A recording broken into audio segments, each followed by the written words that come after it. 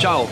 Ta trenutek sem z mojo skupino na Kadikoj tržnici v Istanbulu, na azijski strani in poglej tole tržnico.